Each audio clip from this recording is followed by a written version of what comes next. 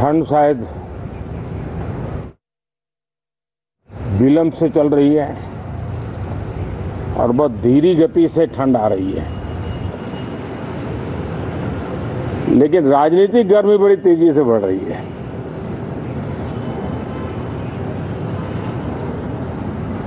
कल ही चार राज्यों के चुनाव नतीजे आए हैं।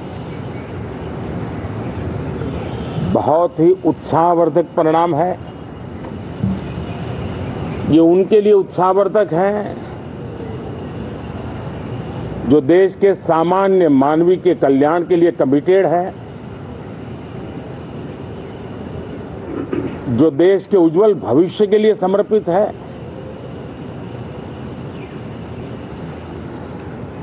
विशेषकर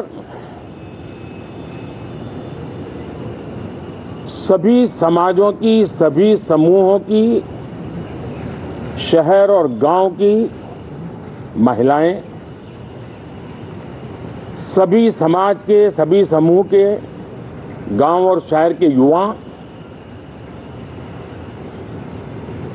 हर समुदाय के, समाज के किसान और मेरे देश के गरीब। ये चार ऐसी महत्वपूर्ण जातियाँ हैं जिनका एम्पावरमेंट उनको भवि, उनके भविष्य को सुनिश्चित करने वाली ठोस योजनाएँ और लास्ट माइल डिलीवरी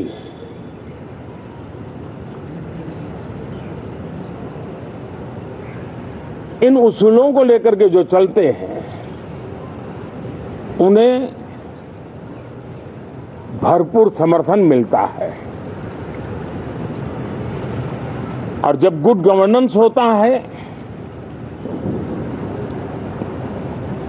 पूर्णतया जनहित के लिए समर्पण होता है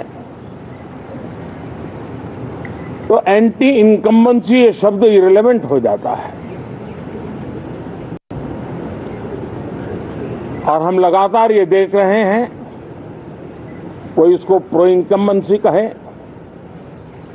कोई इसे गुड गवर्नेंस कहे, कोई इसे ट्रांसपेरेंसी कहे, कोई उसे राष्ट्रहित की, जनहित की ठोस योजनाएँ कहें, लेकिन ये लगातार अनुभव आ रहा है।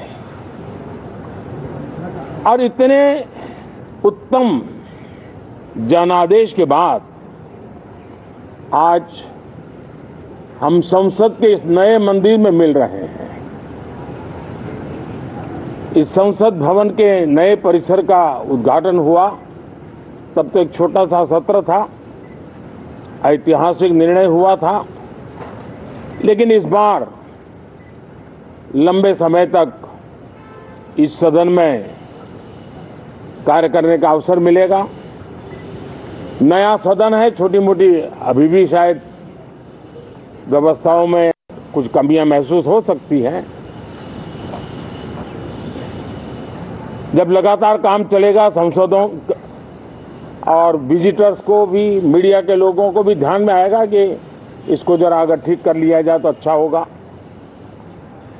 और मुझे विश्वास है कि आदरणीय उपराष्ट्रपति जी और आदरणीय स्पीकर महोदय के नेतृत्व में उन चीज़ों की तरफ़ पूरी तरह निगरानी है।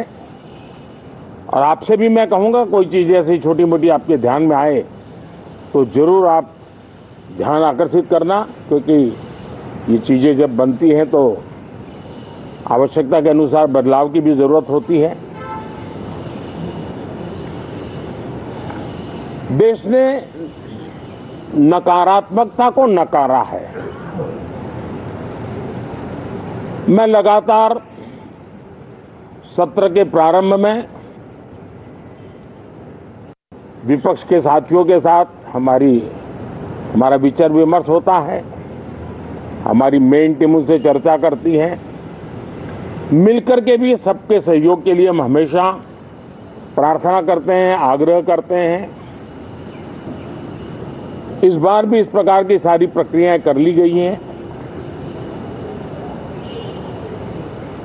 और आपके माध्यम से भी मैं सार्वजनिक रूप से हमेशा हमारे सभी सांसदों से आग्रह करता हूँ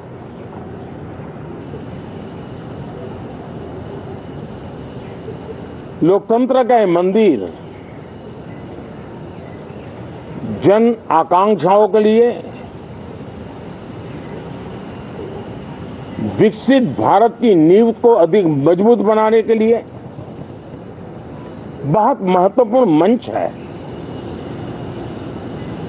मैं सभी माननीय सांसदों से आग्रह कर रहा हूँ कि वो ज़्यादा से ज़्यादा तैयारी करके आए। सदन में जो भी बिल रखे जाए, उस पर गहन चर्चा हो, उत्तम से उत्तम सुझाव आए, और उन सुझावों के द्वारा, क्योंकि जब एक सांसद सुझाव देता है तो जमीनी अनुभव का उसमें बहुत ही उत्तम तत्व होता है। लेकिन अगर चर्चा ही नहीं होती है तो देश उससे मिस करता है उन चीज़ों को। और इसलिए मैं फिर से आग्रह करता हूँ। और अगर मैं वर्तमान चुनाव नतीजों के आधार पर कहूँ तो जो विपक्ष में बैठे हुए साथी हैं, ये उनके लिए गोल्डन अपॉर्चुनिटी है। इस सत्र में पराजय का गुस्सा निकालने की योजना बनाने के बजाय इस पराजय में से सीख करके पिछले नौ साल से चलाई गई नकारात्मकता की प्रवृत्ति को छोड़ करके इस सत्र में अगर सकारात्मकता के साथ आगे बढ़ेंगे तो देश उनके तरफ़ देखने का दृष्टिकोण बदलेगा। उनके लिए एक नया द्वार खुल सकता है। और वो विपक्ष में है तो भी उनको एक अच्छी एडवाइस दे रहा हूँ कि आइए, सकारात्मक विचार लेकर के आइए। अगर हम दस कदम चलते तो आप बारह कदम कर फैसला लेकर के आइए। हर किसी का भविष्य उज्जवल है, निराश होने की ज़रूरत नहीं है। लेकिन कृपा करके बाहर के पराजय का गुस्सा सदन में मत उतारना। हताशा, निराशा होगी। आपके साथियों को आपका दम दिखाने के लिए कुछ न कुछ करना भी पड़ेगा। लेकिन कम से कम लोकतंत्र के इस मंदिर को वो मंच मत बनाइए। और अभी भी मैं कहता हूँ, मैं, मेरे लंबे अनुभव के आधार पर कहता हूँ कि थोड़ा सा अपना रुख बदलिए। विरोध के विरोध का तरीका छोड़िए। देश हित में सकारात्मक चीज़ों का साथ दीजिए। अच्छी उसमें जो कमियाँ हो, उसकी डिबेट कीजिए। आप देखिए, देश के मन में आज जो ऐसी कुछ बातों पर नफरत पैदा हो रही है, हो सकता है वो मोहब्बत में बदल जाए। तो मौका है। ये मौका जाने मत दीजिए। और इसलिए हर बार मैं करबद्ध प्रार्थना करता रहा हूँ कि सदन में सहयोग दीजिए।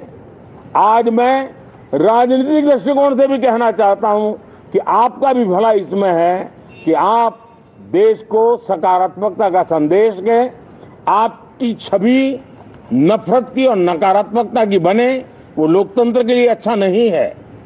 लोकतंत्र में विपक्ष भी इतना ही महत्वपूर्ण है, उतना ही मूल्यवान है और उतना ही सामर्थ्यवान भी होना चाहिए। और लोकतंत्र की भलाई के लिए मैं फिर से एक बार अपनी ये भावना को प्रकट करता हूँ।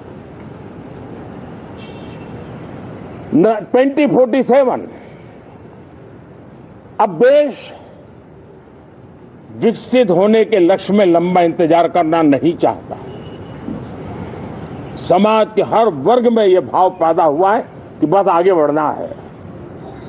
इस भावना को हमारे सभी मान्य सांसद समित आदर करते हुए सदन को उस मजबूती से आगे बढ़ाएँ, यही मेरी उनसे प्रार्थना है।